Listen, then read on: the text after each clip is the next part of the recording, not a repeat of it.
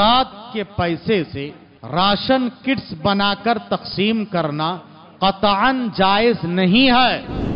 जक़ात पैसा पैसा ही देना है। खुराक के लिए शरीयत ने सदकाए फितर रखा है।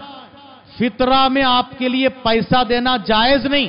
और जक़ात आप अगर सोना, चांदी, रुपया पैसे की जक़ात दे रहे हैं तो सोना, चांदी, रुपया, पैसा ही देना है गरीब को। बेचारे को ज़रूरत है पैसे की और आप उसको राशन राशन राशन दे रहे हैं। और शरीयत ने कहाँ से कहा है कि आप जक़ात के पैसे लेकर राशन किट्स बनाकर आप उसको दिया करो? और उसका फ़ायदा किसी और को हो रहा है। इसकी जो मिस्कीन और मजबूर गरीब है, उसकी ज़रूरत बाकी के बाकी है।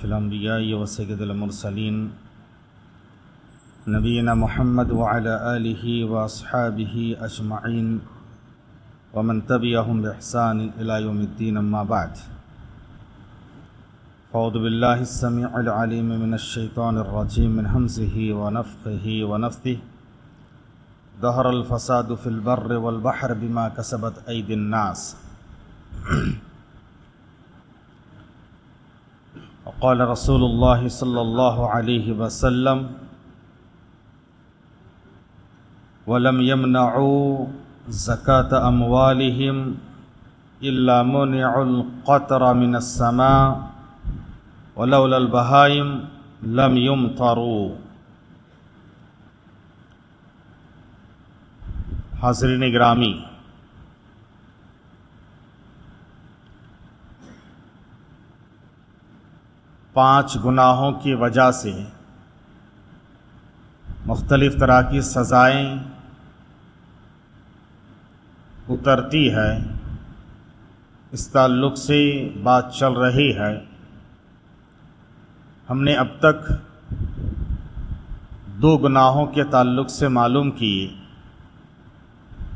और दो गुनाहों की वजह से चार तरह की सज़ाएँ अल्लाह की तरफ़ से नाफिज हो जाती है। पहला गुनाह, बेहयाई और यानी फहाशी का है और इसकी वजह से मुख्तलिफ़ तरह की बीमारियाँ नाजिल होती है। ऐसी ऐसी बीमारियाँ जिनके बारे में आज तक हमने न सुना है और ना ही गुज्त दिनों में इसके बारे में कोई तस्वुर गुज़रा है। दूसरा गुना नाप तोल में कमी बेशी करना, तजारत व कारोबार में लोगों को धोखा देना आवाम पर खामा खा में जुल्म करना, इसकी वजह से तीन सज़ाएँ उतरती हैं। एक कहसाली भुखमारी, दूसरा, महँगाई की मार, महँगाई की शिद्दत, और तीसरा, जालिम हुक्मरानों का जुल्म सितम। तीसरा गुनाह, वलम यब नाओ ज़क़ात अमवालिहिम। अगर कोई कौम माल के ज़क़ात अदा ना करे माल की ज़क़ात अदा ना करें, ज़क़ात रोक ले तो अल्लाह ताला इन लोगों से बारिश को रोक लेता है। अल्लाह इनसे बारिश को रोक लेता है। ये लमोन अलक़तरा मिनसमा और यहाँ तक नबी ने फरमाया कि ये लोग जानवरों से भी गए गुजरे हो जाते हैं। लौलल बहाइम लमयुम तरु अगर ये चौपाए चरिंदे, परिंदे, दरिंदे ना होते तो अल्लाह ताला एक कतरा बारिश का इनको ना देता। इन जानवरों की वजह से अल्लाह ताला बारिश बरसाता है, अल्लाह बारिश देता है। बहुत अहम बात है, आज बारिश की किल्लत है। बारिश ना होने की वजह से पानी की किल्लत होती जा रही है। गर्मी की शिद्दत में इजाफा हो रहा है। बेंगलोर में पिछले सालों में जो ह्यूमिडिटी नहीं थी, आज देखा जाए तो साहिली इलाकों में जैसे ह्यूमिडिटी होती है, उस तरह की ह्यूमिडिटी आज बेंगलोर में पाई जा रही है। मौसम बहुत बदल चुका है। पानी की किल्लत है, बारिश की किल्लत है, बहुत दिनों से बारिश नहीं है। यहाँ तक कि बारिश के लिए दुआएँ हो रही है। बारिश के लिए अब ज़रूरत पड़े तो सलात इस्तिस्का भी पढ़ना चाहिए। अब ये जो हालत बनी है, अल्लाह की तरफ़ से नहीं मतलब अल्लाह ताला तो करता ही है अल्लाह, सब कुछ अल्लाह की तरफ़ से, लेकिन सबब जो बनता है इंसान ही। इंसान के काले करतूत, इंसान के गुनाहों का असर होता है, और उसकी बुनियाद पर यह हालात बनते हैं। दहर अलफसाद फिल बर वल बहर बिमा कसबत आई नास खुशकी में तरी में जो फितना और फसाद बरपा है इन सब के पीछे इंसान के काले करतूत का नतीजा है जक़ात रोक लेना जक़ात क्या है जक़ात के माने हैं इजाफा करना पाक साफ़ करना बढ़ोतरी करना जक़ात के माने हैं पाक साफ़ करना। यानी जक़ात से इंसान का माल भी पाक होता है, उसका दिल भी पाक होता है। माल हराम से पाक होता है, दिल वकीली से पाक होता है, माल की मोहब्बत से पाक होता है। जक़ात का दूसरा माना है, बढ़ोतरी और इजाफे के हैं। जक़ात की वजह से इंसान के माल में इजाफा होता है, बरकत आती है। और आखिरत में भी उसको अजर सवाब मिलता है। जक़ात इस्लाम की एक ऐसी इबादत है, जिसका ताल्लुक अल्लाह के हक के साथ साथ अल्लाह के बंदों में से गरीब, मिस्कीन, फुकारा के साथ हैं। और अल्लाह ताला ने फरमाया, हदीस कुदसी है वब गोनी फिफा तुम मुझे ढूंढना चाहते हो तो तुम कमजोरों में, नादारों में, मजबूरों में, बेकसों में, बेसहारा में, जो लोग मिस्कीन है, फकीर है, मजबूर है, मोहताज है, मकरूज है, ऐसे परेशान हालों में मुझे ढूंढा करो। क्या मतलब है? यानी तुम अगर इनके साथ हमदर्दी, खैर खाई खैर सगाली का मामला करोगे तो तुम मुझे पाओगे। से मुस्लिम की हदीस है, कल क़यामत के मैदान में अल्लाह तबरक ताला कहेगा, मैं बीमार हुआ था, तूने मेरी आदत नहीं की। मैं भूखा प्यासा था, तूने मुझे पिलाया खिलाया नहीं। लोग कहेंगे कि, अल्लाह, तू भी आप, तू बीमार हुआ, तू भूखा प्यासा हुआ। तुझे तो किसी चीज़ की ज़रूरत ही नहीं है।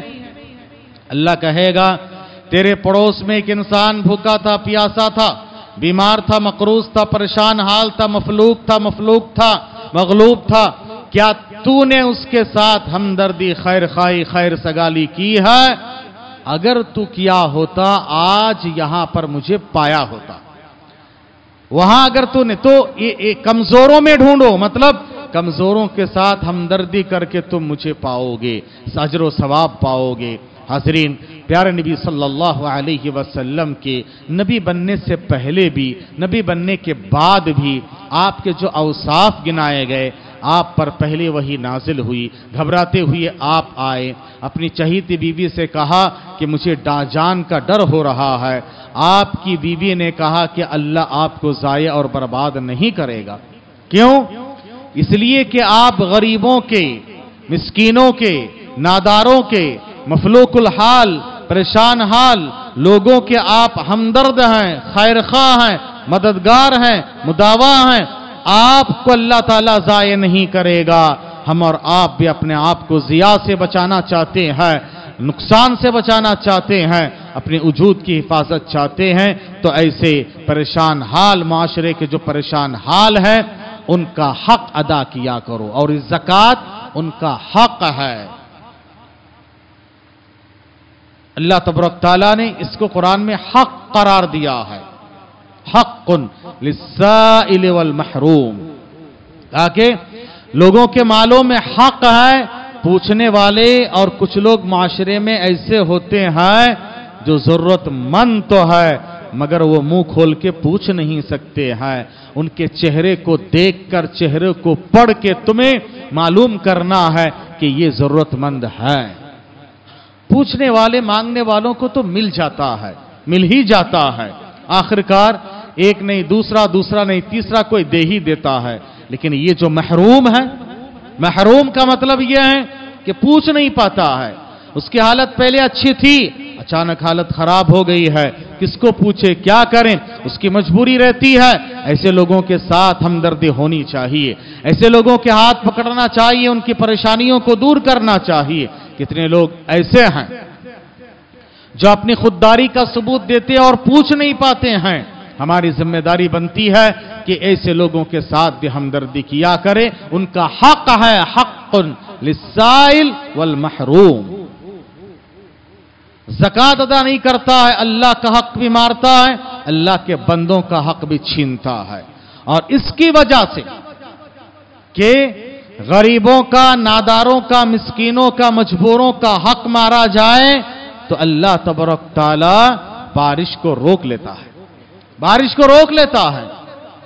आलिम ने लिखा है कि वाकई माने में अगर मुसलमान मालदार अपने माल के कमा हक्का हो, जक़ात निकालें और मुस्तकिन तक कमा हक्का हो पहुंचाएँ तो मुसलमान माशरे में बड़ा फ़ायदा होगा, बड़ा फ़ायदा होगा। एक बात कान खोल के सुन लीजिए, ना मालदार सही तरीके से जक़ात निकालते हैं और ना ही मुस्तकिन तक पहुँचाया जाता है। जक़ात के पैसे से राशन किट्स बनाकर तकसीम करना कतान जायज़ नहीं है। जक़ात पैसा पैसा ही देना है। खुराक के लिए शरीयत ने सदका फितर रखा है। फितरा में आपके लिए पैसा देना जायज़ नहीं।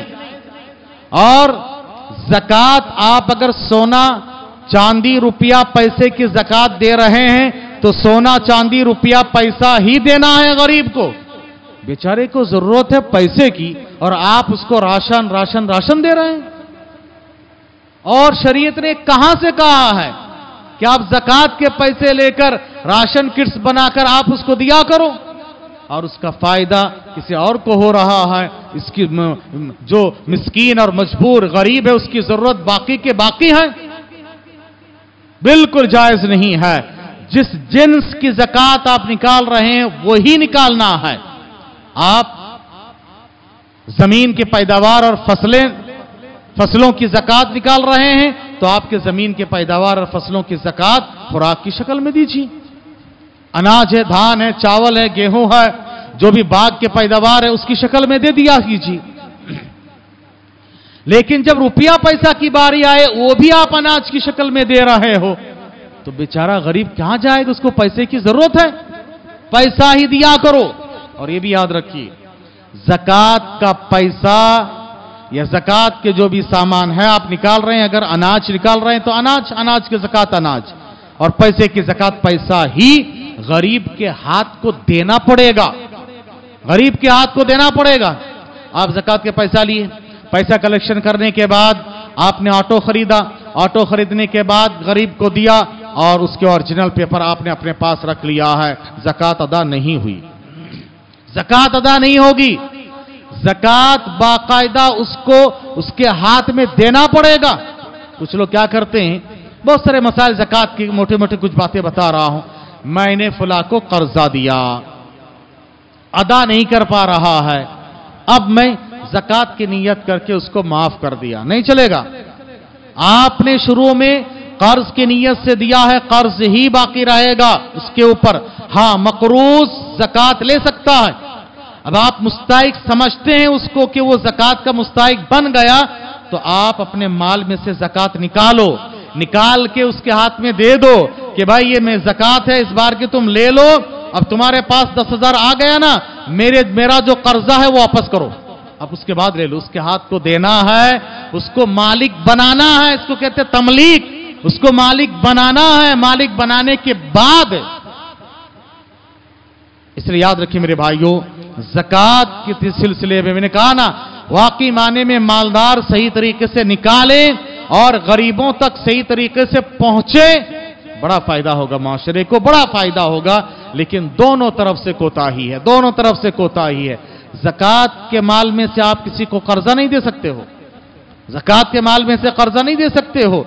जक़ात के माल, अगर आप समझ, समझते हैं कि आदमी मकरूज है, परेशान हाल है, उसको पूरा दे देना है। पूरा दे देना है। फिर कल के दिन वो अगर साहिब निसाब बने तो वो जक़ात देगा। उसको वापस करने की ज़रूरत भी नहीं है। बहरहाल, जक़ात के सिलसिले में जो लोग जक़ात लेते हैं, उनकी बड़ी ज़िम्मेदारी बनती है। देने वालों ने दे दे के अपनी ज़िम्मेदारी अदा कर दी है। आप पर ज़िम्मेदारी आयद होती है कि सही माने में मुस्तकिन तक पहुंचाना। पहुंचाना आपकी ज़िम्मेदारी होती है। और यह भी कान खोल के सुन लीजिए जक़ात लेने वाले। ये नहीं कि कोई गरीब आएगा तो हम देंगे। नहीं, आपने जक़ात ली है तो आपकी ज़िम्मेदारी है। आपको गरीब को ढूंढकर मुस्तकिन को ढूंढकर पहुंचाना पड़ेगा। वह आदमी जो से बुखारी की हदीस है, जक़ात लेकर निकला रात के वक्त में, ताकि कोई मुझे ना देखे, रियाकारी ना आए। अंधेरे पे जाके कोई मिला, उसके हाथ में दे दिया, वो इत्तेफाक से चोर था। फिर उसके बाद दूसरे दिन निकला, रात निकला, इत्तेफाक से कोई जानिया थी। लेकिन परेशान हुई बाद में जब पता चला, नबी ने कहा, तुम्हारी दिल की नीयत है, तुम तो दे दिए अदा हो जाएगा। तो देने वाले की अदा हो जाएगी, लेकिन जो पहुंचाना है, वो निकला है घर से। आपको निकलना पड़ेगा, क्योंकि यहाँ कोई इस्लामी गवर्नमेंट नहीं है कि आपके पास जक़ात कलेक्शन करने वाले आएँगे आएँगे। हाँ मदारिस के जो सुफारा आ रहे हैं बड़ी मेहनत करते हैं और ये मदारिस के दी मदारिस दीन के किले हैं। मदारिस दीन के किले हैं वाकई माने में यहाँ से दिन की हिफाजत होती है और मौजूदा हालात में बहुत ज़रूरी है कि मदारिस को बचाएँ। लेकिन एक बात सुफारा से माजरत के साथ कि बाकायदा 50, 60, 70 परसेंट कमीशन के साथ जक़ात उसूल करना ये कौन सी शरीयत में जायज़ है मुझे तो समझ में नहीं आया आज तक। कि आप जो देते हैं, उसमें से अगर यहाँ पर किसी सफीर का कलेक्शन हो रहा है चार हज़ार तो कम से कम दो हज़ार उसके जेब में जाता है, दो हज़ार इदारे को पहुँचता है। फिफ्टी परसेंट में कम कह रहा हूँ। और यानी स्टेट से बाहर अगर करें, फिफ्टी से ज़्यादा, सिक्सटी, सेवेंटी परसेंट तक भी लेते हैं। अब दोनों मदारिस के जिम्मेदारों से भी गुजारिश है, आप भी सोचें और सुफारा से भी गुजारिश है कि देखें, कहीं हम सिर्फ़ दुनियादारी दुनियादारी में गलत राहों पे चले ना जाएँ। हाँ आपकी मेहनत है। जक़ात कलेक्शन करने वाला जक़ात में से ले सकता है। जक़ात कलेक्शन, कितना बड़ा मालदार क्यों ना हो? बड़े बड़े मदारिस के जो जिम्मेदारान हैं, मालदार भी हैं, फिर भी वो जक़ात कलेक्शन करने वालों में से लेना चाहे, ले सकता है। जक़ात जो जाके कलेक्शन करके लोगों के दर दर पहुँच के लेकर आता है, वल आमिलीना अलैहा। जक़ात सूरह तौबा आयत नंबर 60 60 में सारी तफसीलात है, किसको किसको मिलना है। सूरह तोबा सूरह नंबर नौ और आयत नंबर 60 उसमल आमिलीना अलैहा, जक़ात पे काम करने वाले, जक़ात को कलेक्शन करके लाने वाले हाँ आपको लाके कोई दे रहा है तो आपको हक नहीं है उसमें से लेने का। हाँ आप जाके कलेक्शन करके ला रहे हो तो आप ले सकते हो, कितनी? आपकी ज़रूरत जितनी हो, उतनी आप ले सकते हो। आपकी ज़रूरत जितनी हो, आप ले सकते हो। अब बताओ, एक सफीर अगर एक महीने में दो लाख कलेक्शन करता है और उसमें से एक लाख एक लाख बीस हज़ार उसके जेब में जाता है और इदारे को अस्सी हज़ार जाता है। तो कौन सी शरीयत में क्या जायज़? कैसे ये परसेंटेज फिक्स करना? कैसे ये समझ से बाहर है? सोचना चाहिए इस सिलसिले में कि सही माने में जक़ात पहुँचे मुस्तकिन तक। इस सिलसिले में हमें सोचना और न अल्लाह की तरफ़ से ये बात है कि समा, आसमान से बारिश को रोक लिया जाएगा।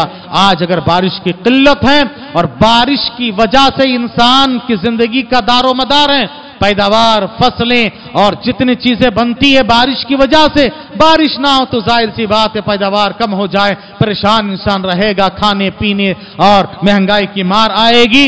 और जानवर ना हो तो अल्लाह ने कहा कि जानवरों की वजह से तुम्हें बारिश देता हूँ। शुक्र मनाया करो जानवरों का क्योंकि जानवर है वो अल्लाह का हक अदा करते हैं और तुम इंसान हो कि अल्लाह का हक अदा नहीं करते हो। दुआ कीजिए रब्बुल आलमीन से, अल्लाह तबरक हमें और आपको इन कई सुनी बातों पर संजीदगी के साथ सोच कर अमल करने की तोफ़ी अता फरमाए, ताकि अल्लाह के अजाब से हम बच जाएँ।